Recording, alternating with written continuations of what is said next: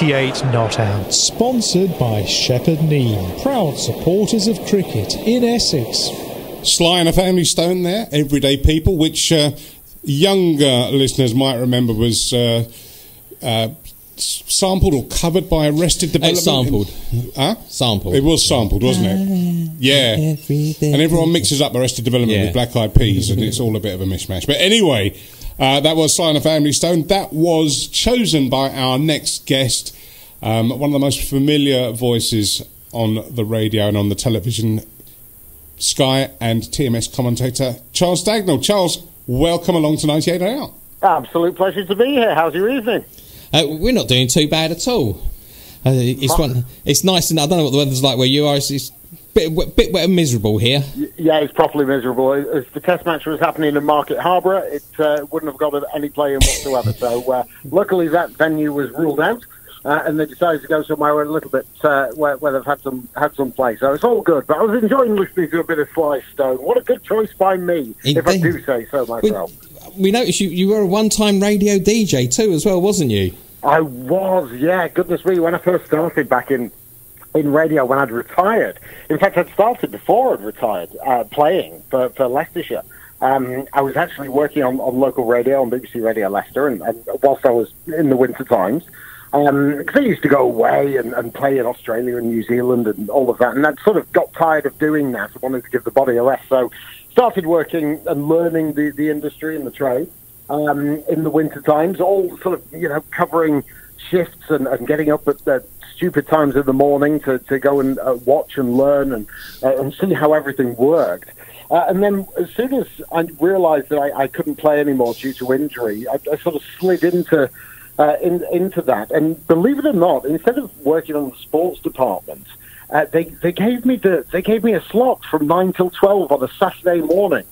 so I was I was a sort of proper D jock, uh, just spinning the hits and, uh, and and sort of competitions and prizes and guests and phone-ins and all of that sort of stuff. But it was actually the music I enjoyed spinning. And and truth to tell, we used to have a, a set list on on local radio, which was given to you. You had sort of I don't know 10, 12 tracks an hour and and they were given to you. They just were computer generated, and and you know you, you, you got into the studio, and I kept I got there Saturday morning. Now on a Saturday morning, you want to be you're in a good mood. It's the weekend. You've got chores to do. You you may be going to a bit of sport later on in the day, or or whatever it may taking the kids to a club or uh, whatever it might be. You know, cleaning the house, etc. And and I looked at the the playlists on a Saturday morning. And just went, this is awful. This music's There's no Mark Butcher. Uh, Exactly. There's no Mark Butcher on the playlist. How on earth can anybody survive without having having uh, at least two or three songs per hour from Bush? anyway, um, I then so I got I kept getting into trouble every week by throwing out the music that was given to me and then playing stuff that that I wanted to play. Um, and as it turned out, it, it went quite well. You know, listening figures were pretty reasonable. You know, I probably doubled them to about four. And and Know it that was, feeling. um, yeah. and, and so so yeah, I would make up really really rubbish segments in my nine till twelve slot. Uh, to excuse the music that I was playing, uh, so it was. Uh, so yes, I had I had a bit of that, and I loved it. I actually miss it hugely. Uh, just going out and, and that feeling of uh, being in the car or at home, and that, that feeling, and you guys will know, you know, when you hear on the radio where you get that feeling of, God, I've not heard that in ages. What a great song that was. Yeah. And I wanted to keep do- doing that. So anyway, that's that's past uh, past history of radio. But yes, done some uh, done, done some of that in, in my time. But yeah. Well, is it past though? Because I'm just sort of rooting around doing a bit of research tonight because you know I like to try and make out that I'm at least trying a little bit. Thanks bit. for making the effort. mate. Yeah, and I came across a really good video actually of um, a certain Burnley man on bass, um, a very super talented young lady on drums called Ebony Rainford-Brent, Oh God. and Henry Moeran playing a very mean lead blues guitar. Uh, and it, it actually looked and sounded quite good. Well, you can take your surprise out of your voice. I don't know the one you mean. It was it was funny. You know what? Myself and uh, it all really started. So I I I'm from quite a musical family. Uh, so my brothers uh, and sister, all very musical, and then there was they, they all sort of uh, came in one bunch uh, year after year, and then there was a gap of five years, and then me, and so I didn't really get into the music side. Always had music around because of them, but I was much more on my own, and so I went down a, a sort of more sporting route. But um, my brother John is a session musician and, and um, you know plays drums and bass and guitar and keys all to the highest standards. One of those blokes that you actually really hate uh, because because of the talent. My my eldest brother has played in rock bands uh, throughout his life, and my sister was was very good pianist and singer as well. Um, and and actually, my my you know further my further on family was uh, uh, very musical as well. And I thought, you know what, I've loved it my entire life. I was kicking around playing bass guitar, but not really in, in, any sort of serious nature. And then a couple of years ago, I went to watch Chic and Nile Rodgers Ah, yeah. in uh, in Leicestershire. They were playing at Belvoir Castle, and I was watching a guy called Jerry Barnes uh, who plays bass, and I thought, I want to do this. I want, I, I want, to I want to sound like this guy. um, and so I actually started really focusing on playing and started getting lessons, and, and I'm going through my grades at the moment. Uh, and I'm currently uh, on working on my grade five bass. Henry is a, a super lead guitarist, and, and and Ebony's been working on her drums for quite some time. So every now and again, we sort of get uh, you know WhatsApp messages and saying, "Oh, do you fancy it? Well, you've got an hour here or two hours there," and we get together and and just sort of jam it out and work on a few songs. It's great that off guitar, bass, drums, so we sound band like. Yeah. Um, but uh, but yeah, that particular one you heard was us actually grooving to um, 50 Ways to Leave Your Lover. uh, Paul Simon's great track with that Steve Gadd uh, drum line. Uh, and uh, and yeah, so we were just grooving on there. So we only we had to sift through. Let me tell you, we had to sift through hours and hours and hours of footage that we'd recorded to get the 30 seconds that we actually thought we sounded all right. You could have So, changed it to 50 but- ways to lose your wicket. Yes, well, goodness me, I could tell you all of those. I probably had them uh, happen to me uh, during my career, but no, it was great. It, it's great when you can actually switch off from your job and do something that you that you adore doing. And and um, you know, myself and Henry were going to put on a rock show uh, this this summer. It was supposed to be July the thirty first. We were we were booked the Hundred Club down in Soho in Oh, London. wow. Um, and we'd started selling tickets, and, and all of the proceeds were going to the Teenage Cancer Trust. Oh, good cause. Um, and we'd, uh, you know, we were going to put on a real, you know, we were going to go all in, spandex and, and you know, all, all of that. Uh, And some of the photos, you can, they're, they're online somewhere, but, but unfortunately we've had to postpone it because of what's going on at the moment. And so we're going to be redoing it though. We're going to redo it next year. Um, so a proper rock show, classic rock, you know, sort of ACDC and Queen and, and Van Halen and all of that. And, um, and, and I've got my, my brother's actually coming to play drums for us. We've got two of his mates who are going to be the backing band. So, uh, you know, f- proper session musicians backing us up. Uh, and basically, what me and Henry thought was that we'd turn us down and them up, and that would sound really good. Uh, so, and yeah, a couple of special guests as well, which we're going to not ad- advertise. We're going to just pull them out on the night. Um, but uh, but yeah, our hope is that we can redo it. Uh, next year and, and raise hopefully ten, fifteen thousand pounds for teenage cancer. That'll be excellent. We'll definitely have to come along for that. You said You you, were, will. You'll have to buy your tickets though. Yeah, we will, we will. You said you were every learning- penny goes to them.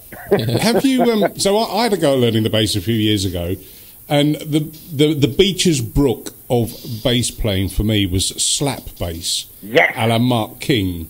How have you got on with that?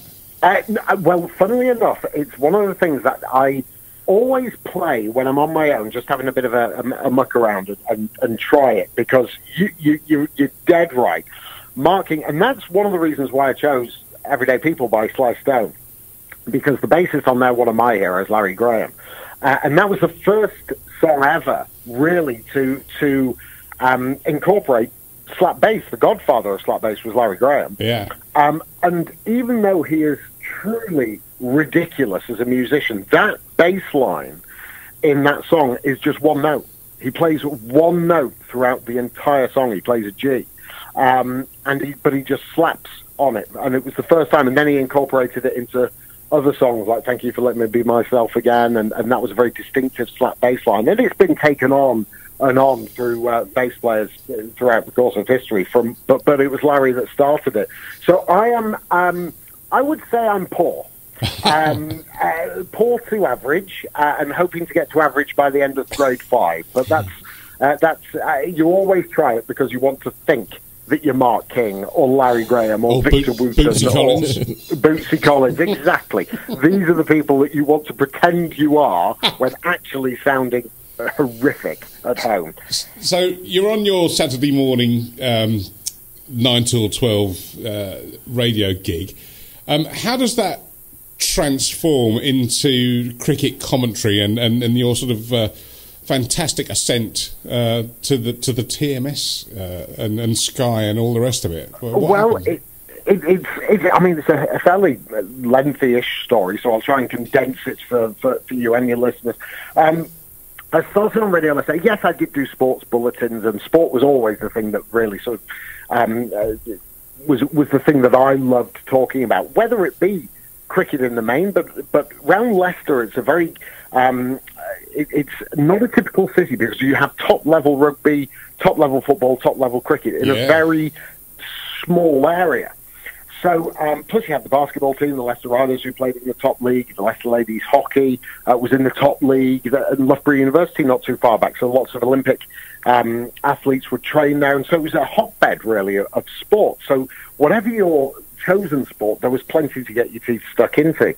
So I not only did the Saturday morning programs, but I would still do sports shifts, you know, reading the news bulletins and sports bulletins and that sort of thing. And then I, I graduated to to doing drive time radio and, and also bits of breakfast and that sort of things. Um, but sport was always my first love. I did news and current affairs on the drive time program plus an hour of sport, and that was the hour that really I, I, I loved. Yeah. uh, loved doing. Interested in current affairs, absolutely, and, and that was it was great fun, but not really where my heart lay.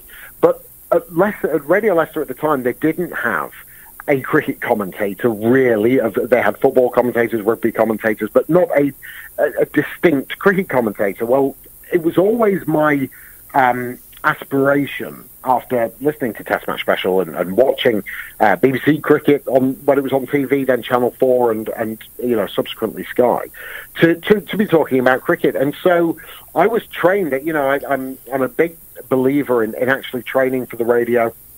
I was trained uh, by a gentleman called John Shaw, who wouldn't actually allow me on air until he thought I was ready. So, so I spent a good two years training, uh, using my voice and, and um, you know, the ability to, to convey what you're trying to, to describe on the radio. Um, and, and and when the summer came, and, and there was cricket commentary to be done. I was there. I was, you know, I was kind of known in the area as well for, for, from, um, you know, being a professional cricketer.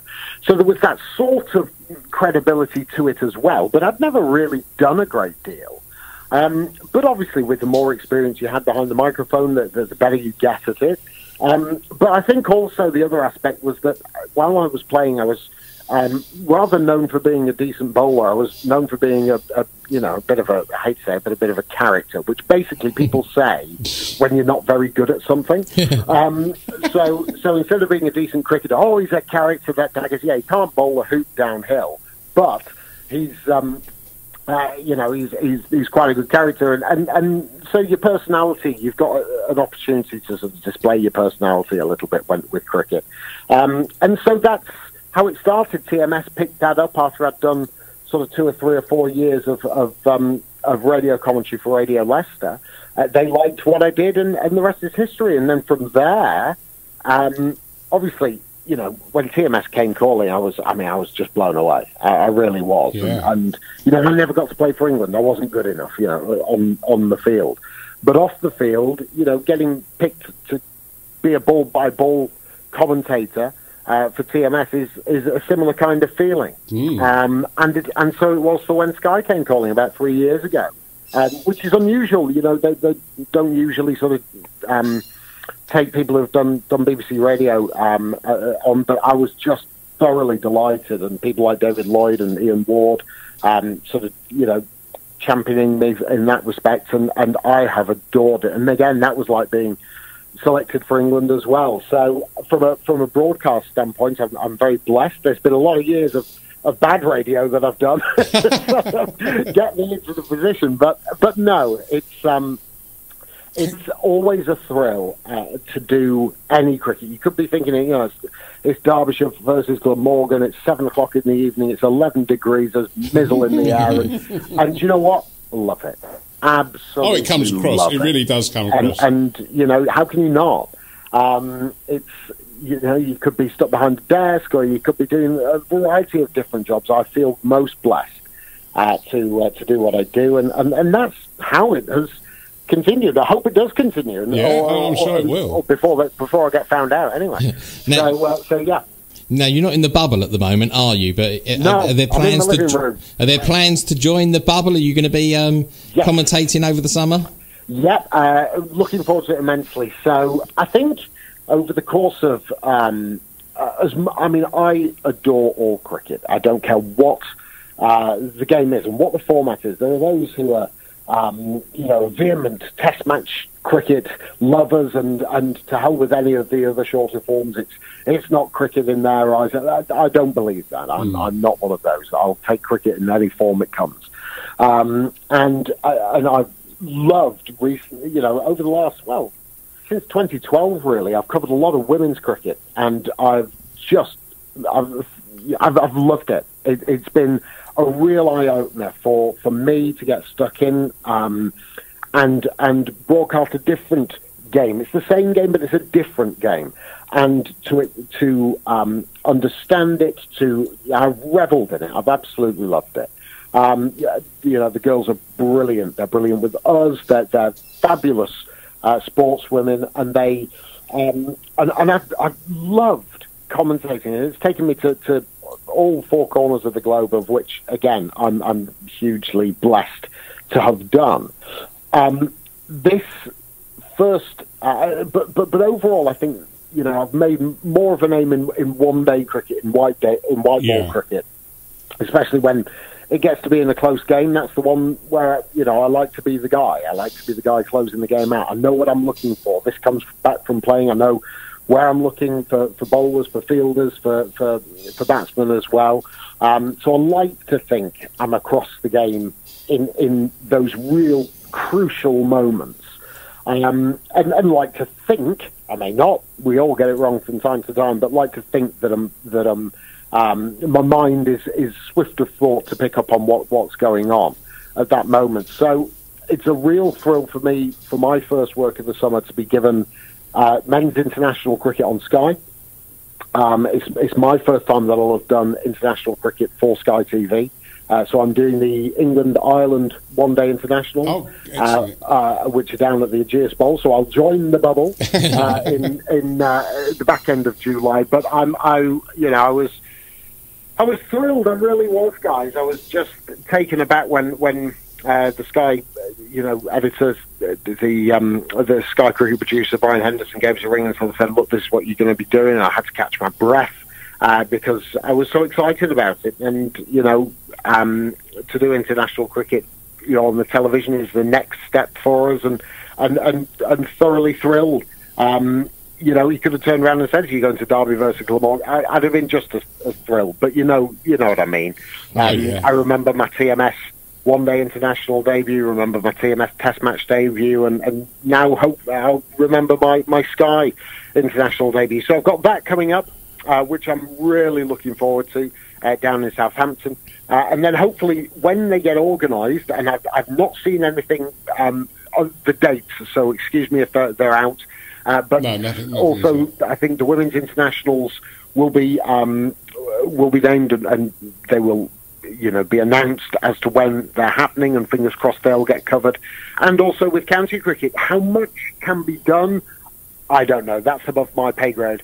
Um, you know, they've got to see how the bubble would work in in uh, in county cricket and how best they can cover it, and if they can cover it due to the restrictions because of COVID nineteen. Um, but you know, at, at this moment in time, I've been I've been sat on my backside for four months, So uh, I'll take anything. You're Um, to go. At, at this moment, yes. Uh, my, my school teaching uh, days, I think, are over uh, after doing it for three months with my daughter uh, whilst lockdown was happening. Um, and also, I had a, an operation in March to um, uh, to have a, a full knee replacement as well. So I've actually been able to, to get that um, recovered nicely too. Uh, to a, you know, it's still got a long way to go, but at least I've not had to uh, to be stood on my feet for, for 12 hours whilst uh, whilst recovering from that. So yeah, I am raring to go, raring. So, more importantly, where are you going for your birthday tomorrow? ah, uh, just sticking around, uh, sticking around here. Um, I, there's uh, nothing better than uh, than, uh, than having family. So my daughter and my girlfriend will be uh, uh, will be uh, around, and uh, I'll, it'll probably be me that's cooking. Um, but uh, but yeah, just a, a very quiet barbecue. One doesn't like to advertise one's birthdays at uh, this time of life, as I'm sure you can both understand. Yeah, I think we've both got a few years on you, so don't Yeah. worry too much.